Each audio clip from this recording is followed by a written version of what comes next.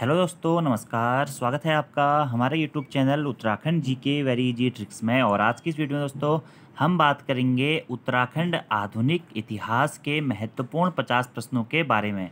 और दोस्तों, ये वीडियो आपके उत्तराखंड के सभी एग्ज़ाम्स यूके पीएससी और ट्रिपल एस के द्वारा जो कराए जाते हैं, सभी के लिए काफ़ी ज़्यादा महत्वपूर्ण है दोस्तों, क्योंकि इस टॉपिक से बहुत बार बैक टू बैक आयोग के द्वारा प्रश्न पूछे जाते रहे हैं। और जो आपके आगामी एग्ज़ाम्स होने हैं, जैसे कि अधिशासी अधिकारी हो गया, कर राजस्व हो गया एसआई के जो एग्ज़ाम्स होंगे आगामी समय में वी हो गया बंदी रक्षक का बहुत सारे अभ्यर्थियों का एग्ज़ाम पेपर है, आबकारी के पदों पर भर्ती आ रही है। तो सभी एग्ज़ाम्स के लिए ये जो वीडियो है दोस्तों, बहुत ज़्यादा महत्वपूर्ण है। वीडियो पसंद आती है तो वीडियो को लाइक ज़रूर करें कमेंट ज़रूर करें, अपने दोस्तों के साथ में वीडियो को ज़रूर शेयर करें। और आधुनिक उत्तराखंड का दोस्तों, हमारा टेस्ट का पार्ट वन आज रहने वाला है, जिसमें मैं आपको तीस महत्वपूर्ण प्रश्नों के बारे में बताऊँगा दोस्तों, जो कि आपके आगामी एग्ज़ाम्स के लिए बहुत ज़्यादा महत्वपूर्ण रहने वाले हैं। तो वीडियो पसंद आएगी तो वीडियो को लाइक करके कमेंट ज़रूर करें और यह भी ज़रूर बताएँ कि इस सीरीज़ को कंटिन्यू करना है या नहीं करना है। इसी के साथ साथ दोस्तों, अगर आपने अभी तक हमारी एप्लीकेशन डाउनलोड नहीं करी हुई है तो प्ले स्टोर से आप हमारी application Uttarakhand G K very easy tricks को डाउनलोड कर सकते हैं। वहाँ पर आप इन टेस्ट को दोस्तों अकॉर्डिंग टू अपने हिसाब से दोस्तों टेस्ट के रूप में भी लगा सकते हैं।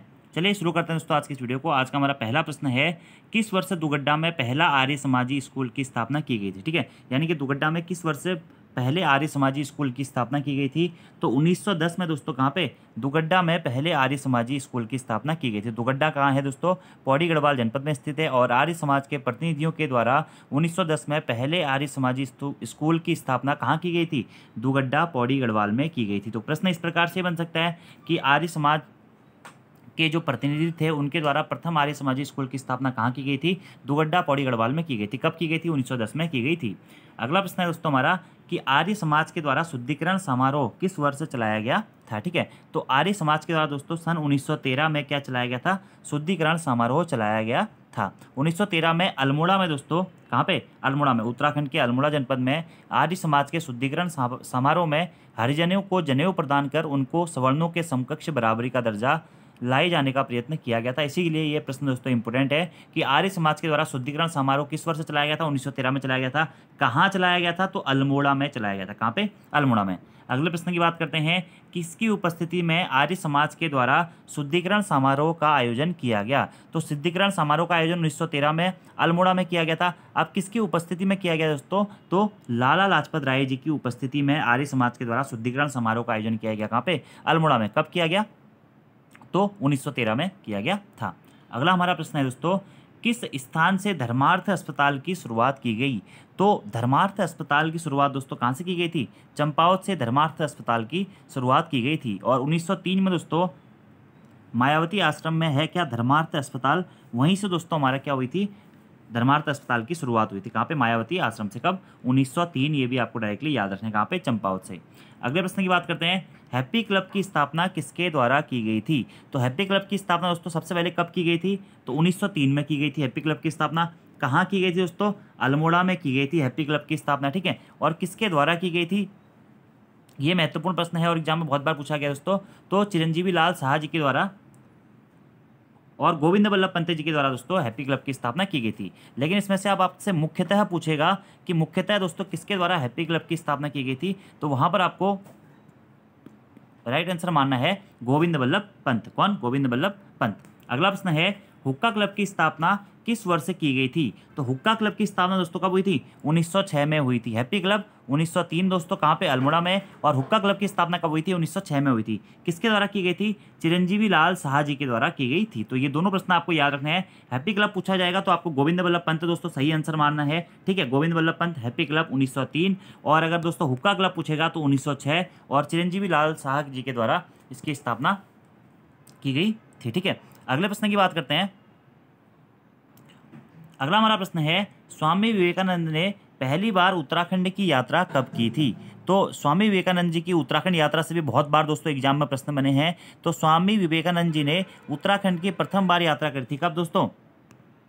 ये करी थी जुलाई 1890 में। कब? जुलाई 1890 में। और दोस्तों मैंने इसके ऊपर डिटेल वीडियो बनाया हुआ है। उत्तराखंड स्वामी विवेकानंद की उत्तराखंड यात्रा, जो 15 से 20 मिनट का वीडियो दोस्तों, आप सर्च कीजिएगा नॉर्मली स्वामी विवेकानंद की उत्तराखंड यात्रा बाई उत्तराखंड जी के वेरी इजी ट्रिक्स वहाँ पर आपको इनकी सभी यात्राओं के बारे में मिल जाएगा और इनके द्वारा उत्तराखंड में जितने भी महत्वपूर्ण कार्य किए गए, जैसे कि इनकी तपस्थली के रूप में या इनके ज्ञान प्राप्ति स्थल के रूप में काकड़ी घाट, अल्मोड़ा को भी जाना जाता है। इसको स्वामी विवेकानंद जी के ज्ञान प्राप्ति स्थल के रूप में किसको जाना जाता है? काकड़ी घाट, अल्मोड़ा को जाना जाता है। इन्होंने यहाँ पे क्या की थी? स्वामी विवेकानंद आश्रम की स्थापना भी करी थी, ठीक है? मायावती आश्रम की स्थापना भी इनके ही अनुयायियों के द्वारा की गई थी। तो ये सारे फैक्ट मैंने वहाँ पर आपको बताए हुए हैं। अगले प्रश्न की बात करते हैं, इल्बर्ट बिल विवाद किस वर्ष हुआ था?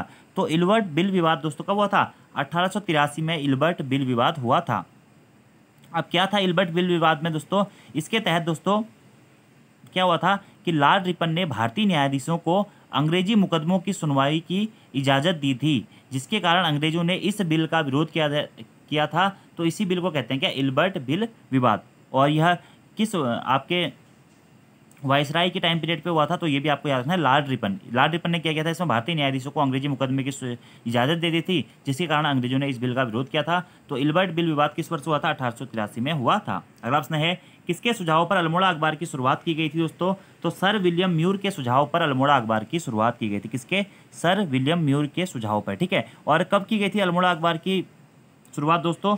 तो अठारह सौ इकहत्तर में दोस्तों अल्मोड़ा अखबार की शुरुआत की गई थी। सबसे पहले दोस्तों डिबेटिंग क्लब की स्थापना होती है कब? 1870 में। 1870 में डिबेटिंग क्लब की स्थापना होती है। किसके द्वारा की जाती है दोस्तों? यह बुद्धि वल्लभ पंत जी के द्वारा की जाती है, ठीक है? उसी के एक वर्ष के बाद दोस्तों, इसी डिबेटिंग क्लब के द्वारा सर विलियम म्यूर के सुझावों पर ही सन अठारह ईस्वी में क्या अल्मोड़ा अखबार की शुरुआत की जाती है? और अल्मोड़ा अखबार के प्रथम संपादक दोस्तों कौन थे? ये थे बुद्धि बल्लभ पंत जी। यह अल्मोड़ा अखबार दोस्तों कब बंद होता है? बाद में 1918 में इस अल्मोड़ा अखबार को बंद कर दिया जाता है। अंग्रेज़ों के द्वारा इस पर बैन लगा दिया जाता है। और उस समय इसके दोस्तों संपादक कौन थे? तो बद्रीदत्त पांडे जी थे। उसके बाद बद्रीदत्त पांडे जी ने क्या किया था? इसके बाद बद्रीदत्त पांडे जी ने अल्मोड़ा अखबार के प्रतिस्थापन के रूप में शक्ति नामक साप्ताहिक समाचार पत्र की शुरुआत करी थी। तो शक्ति नामक साप्ताहिक समाचार पत्र की शुरुआत 1918 से होती है। किसने करी थी? दोस्तों, बद्रीदत्त पांडे जी के द्वारा की गई थी और यहाँ पर अल्मोड़ा अखबार की शुरुआत कब की गई थी? अठारह में की गई थी।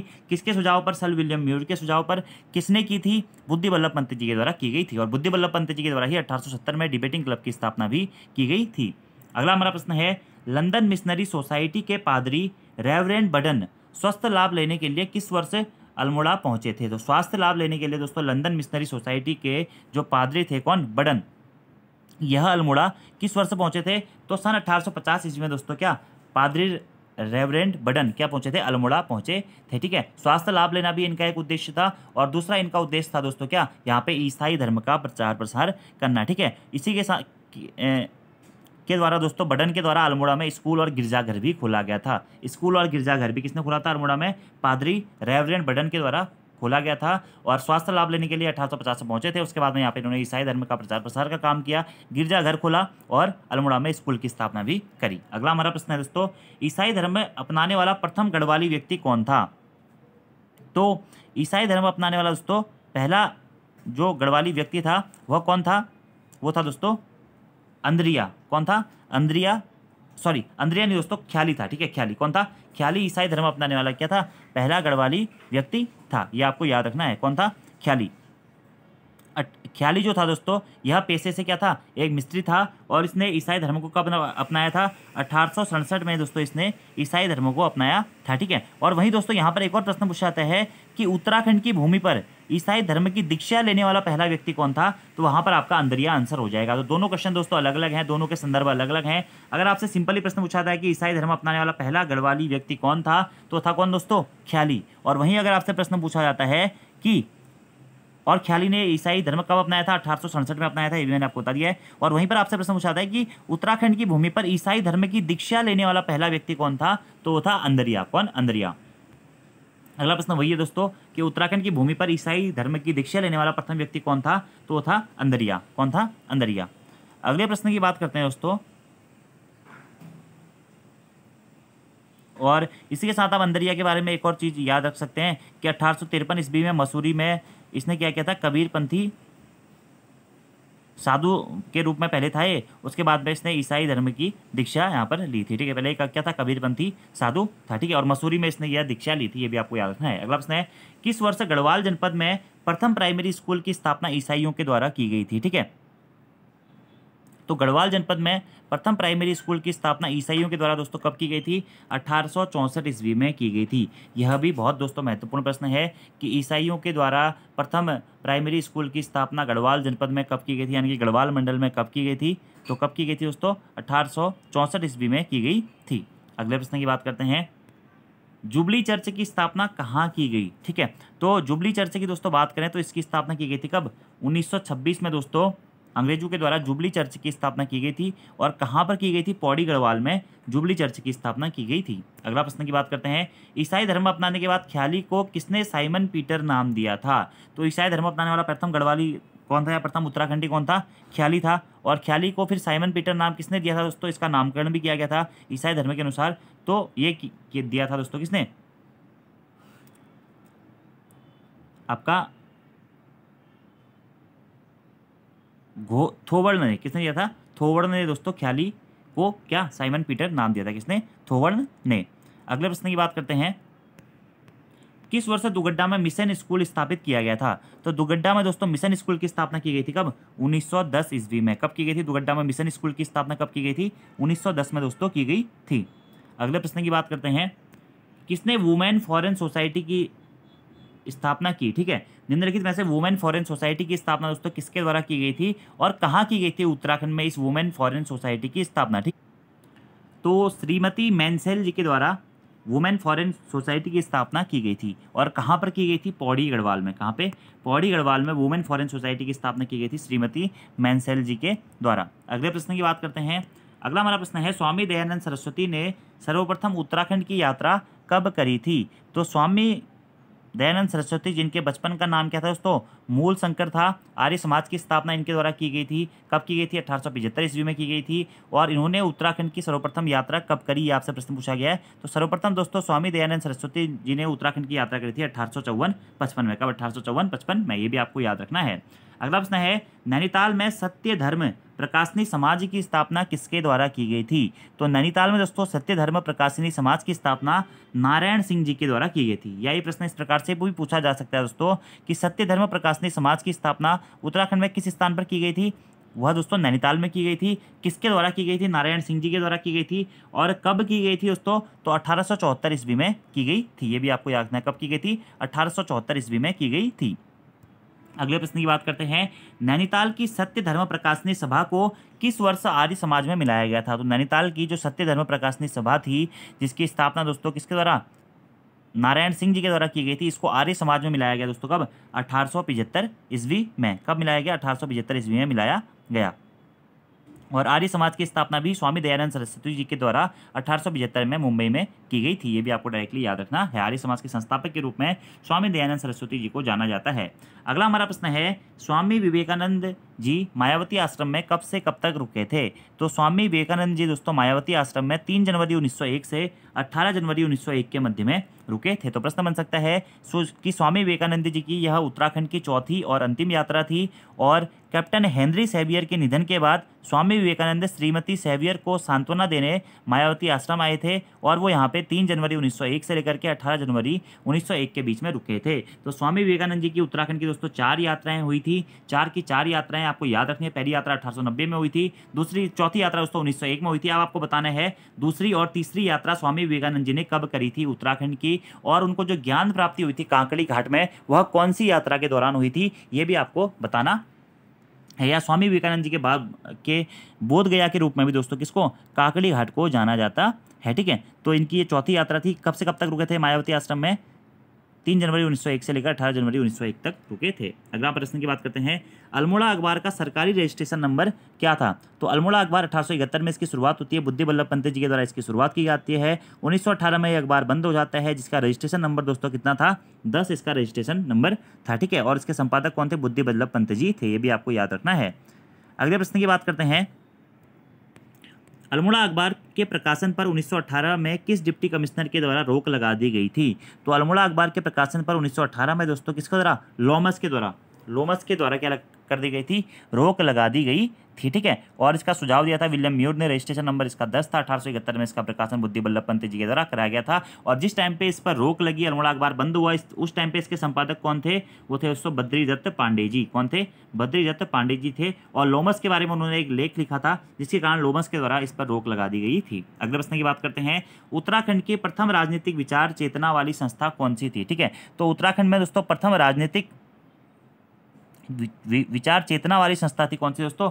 डिबेटिंग क्लब डिबेटिंग क्लब को दोस्तों, उत्तराखंड की प्रथम संस्था के रूप में भी जाना जाता है और उत्तराखंड की प्रथम राजनीतिक पार्टी के रूप में भी डिबेटिंग क्लब को जाना जाता है, जिसकी स्थापना दोस्तों कब हुई थी? 1870 में दोस्तों इसकी स्थापना हुई थी, किसकी? डिबेटिंग क्लब की। तो उत्तराखंड की प्रथम राजनीतिक विचार चेतना वाली संस्था कौन सी डिबेटिंग क्लब है और इसकी स्थापना कब हुई थी? अठारह सौ सत्तर में हुई थी। किसके द्वारा की गई थी दोस्तों? बुद्धि बल्लभ पंत जी के द्वारा की गई थी। ये प्रश्न भी बहुत ज़्यादा इंपॉर्टेंट है और एग्ज़ाम में दोस्तों पूछा जा सकता है।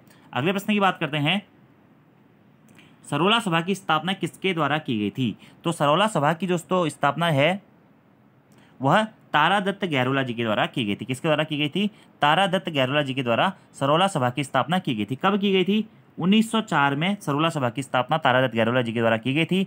गढ़वाल की प्रथम जाति सभा कौन सी थी? यही दोस्तों, सरोला सभा, गढ़वाल की प्रथम जाति सभा थी और इसका मुख्यालय कहाँ था? इसका मुख्यालय था टिहरी गढ़वाल में। तो सरोला सभा की स्थापना तारादत्त गैरोला कब? 1904 में और इसका मुख्यालय कहाँ था दोस्तों? टिहरी गढ़वाल में। इसका मुख्यालय था यह गढ़वाल की प्रथम जाति सभा थी। अगला प्रश्न है दोस्तों, किस वर्ष दयानंद सरस्वती जी के द्वारा आर्य समाज की एक शाखा देहरादून में स्थापित की गई थी? यानी कि आर्य समाज की एक शाखा देहरादून में किस वर्ष खोली गई थी दोस्तों? तो ये खोली गई थी 1879 में। अठारह ईस्वी में दोस्तों, देहरादून में दयानंद सरस्वती जी के द्वारा आर्य समाज की एक शाखा स्थापित की गई थी। अगले प्रश्न की बात करते हैं। शुद्ध साहित्य समिति की स्थापना किसके द्वारा की गई? तो शुद्ध साहित्य समिति की स्थापना दोस्तों किसके द्वारा की गई थी? स्वामी सत्यमेव परिवारजक जी के द्वारा शुद्ध साहित्य समिति की स्थापना की गई थी। किसके द्वारा? स्वामी सत्यदेव परिव्राजक जी के द्वारा। ये आपको याद रखना है। और कब की गई थी? 1913 में की गई थी। कहाँ पे की गई थी दोस्तों? अल्मोड़ा में। अल्मोड़ा में शुद्ध साहित्य समिति की स्थापना की गई थी 1913 में। किसके द्वारा? स्वामी सत्यदेव परिवराजक जी के द्वारा। अगले प्रश्न की बात करते हैं। कि गढ़वाल डिबेटिंग क्लब की स्थापना किसके द्वारा की गई थी? तो कुमाऊं का डिबेटिंग क्लब अठारह जो कि उत्तराखंड का प्रथम राजनीतिक पार्टी जाना जाता है, अठारह सौ सत्तर में उसकी स्थापना हुई थी। अब यहाँ पर प्रश्न पूछा गया, दोस्तों, गढ़वाल डिबेटिंग क्लब की स्थापना किसके द्वारा की गई थी? तो खड़क सिंह नेगी जी के द्वारा, दोस्तों, क्या गढ़वाल डिबेटिंग क्लब की स्थापना की गई थी? और कब हुई थी गढ़वाल डिबेटिंग क्लब की स्थापना? तो अठारह ईस्वी में हुई थी, ये भी आपको दोस्तों याद रखना है। और दोस्तों, उत्तराखंड के जितने भी महत्वपूर्ण संस्थाएँ थी ना, उसकी मैंने आपको वीडियो बनाई हुई है, अगर आपने वो नहीं देखी है तो आप उस वीडियो को भी देख लीजिएगा, वरना मैं एक से दो दिनों में उस वीडियो को दोबारा से दोस्तों अपलोड कर दूँगा तो आप उस वीडियो को भी देख लीजिएगा, वो भी बहुत ज़्यादा महत्वपूर्ण वीडियो है, क्योंकि उससे भी एग्ज़ाम में बहुत बार डायरेक्टली प्रश्न पूछे गए हैं। तो गढ़वाल डिबेटिंग क्लब की स्थापना किसके द्वारा की गई थी? तो किसके द्वारा की गई दोस्तों? ऑप्शन के अकॉर्डिंग खड़क सिंह नेगी जी के द्वारा, कब? अठारह ईस्वी में की गई थी। कहाँ पे की गई थी गढ़वाल डिबेटिंग क्लब की स्थापना? तो ये दोस्तों, कहाँ की गई थी? पौड़ी गढ़वाल में की गई थी। अगला प्रश्न है, गढ़वाल यूनियन के पहले सचिव कौन थे? तो गढ़वाल यूनियन के दोस्तों, पहले सचिव थे कौन? तारादत्त गैरोला जी। कौन थे? तारादत्त गैरोला जी थे। और वहीं गढ़वाल यूनियन की स्थापना कब हुई थी? गढ़वाल यूनियन की स्थापना होती है दोस्तों, कब? 1901 में। कब हुई थी? 1901 में गढ़वाल यूनियन की स्थापना होती है। अगला हमारा प्रश्न है दोस्तों, कि गढ़वाली समाचार पत्र के प्रथम संपादक कौन थे? तो गढ़वाली समाचार पत्र के दोस्तों, प्रथम संपादक थे कौन? गिरजादत्त नैथानी जी। कौन थे? गिरजादत्त नैथानी जी थे, ठीक है? और गढ़वाली समाचार पत्र का प्रकाशन कब हुआ था? छः मई 1905 छः मई 1905 को दोस्तों, कहाँ से? देहरादून से इस गढ़वाली समाचार पत्र का क्या हुआ था? प्रकाशन हुआ था, ठीक है? और गढ़वाल समाचार पत्र के संपादक भी कौन थे? गिरजाराज नैथानी जी ही थे और गढ़वाल समाचार पत्र का प्रकाशन कब हुआ था? 1902 में हुआ था। ये भी आपको डायरेक्टली याद रखना है। गढ़वाली का कब हुआ था? 1905 में हुआ था। अगला प्रश्न है, किसके द्वारा तारादत्त गैरोला की तुलना रविंद्रनाथ टैगोर से की गई है? तो तारादत्त गैरोला जी की तुलना रविन्द्रनाथ टैगोर से करिए। किसके द्वारा दोस्तों? भक्त दर्शन जी के द्वारा की गई है। किसके द्वारा? भक्त दर्शन जी के द्वारा की गई है। और आज का दोस्तों आपका होमवर्क का क्वेश्चन है कि किस वर्ष हरिद्वार में कुंभ मेले के अवसर पर पाखंड खंडनी पताखा फहराई गई थी? और दूसरा आपका होमवर्क का क्वेश्चन है कि स्वामी विवेकानंद के द्वारा स्थापित लेबोरेटरी को किस वर्ष कोलकाता से अल्मोड़ा स्थानांतरित किया गया था? तो ये दो क्वेश्चन दोस्तों आपके आज के होमवर्क के क्वेश्चन है। आपको वीडियो कैसी लग रही है, कमेंट बॉक्स में दोस्तों ज़रूर बताइएगा। वीडियो पसंद आती है तभी इसको आगे दोस्तों कंटिन्यू किया जाएगा। ठीक है? इस प्रकार के बहुत सारे क्वेश्चन है दोस्तों, आधुनिक उत्तराखंड, इसके बाद में पृथक राज्य आंदोलन। इससे पहले दोस्तों मैं आपको चंद्रवंश परमार वंश इनके क्वेश्चन वैसे करवा चुका हूँ, लेकिन एक बार मैं फिर से कोशिश करूँगा कि आप लोगों को एग्ज़ाम से पहले इस प्रकार के क्वेश्चन को करा दिया जाए, क्योंकि दोस्तों ये प्रश्न इंपॉर्टेंट है डिटेल से मैंने आपको ये चीज़ें पहले भी पढ़ाई हुई है। तो वीडियो पसंद आती है तो आप लोग ज़रूर कमेंट करके बताएँ कि इस सीरीज़ को कंटिन्यू रखा जाए या नहीं रखा जाए। बाकी इसी के साथ साथ दोस्तों हमारी हिंदी की और उत्तराखंड की कई सारी मैराथन क्लासेस हमारे यूट्यूब चैनल पर अपलोडेड है। अगर आपने वो वीडियोज़ नहीं देखी है तो आप उन वीडियोज़ को भी ज़रूर देख लीजिएगा। So thank you friends, thanks for watching this video. See you next time. Dhanyawad.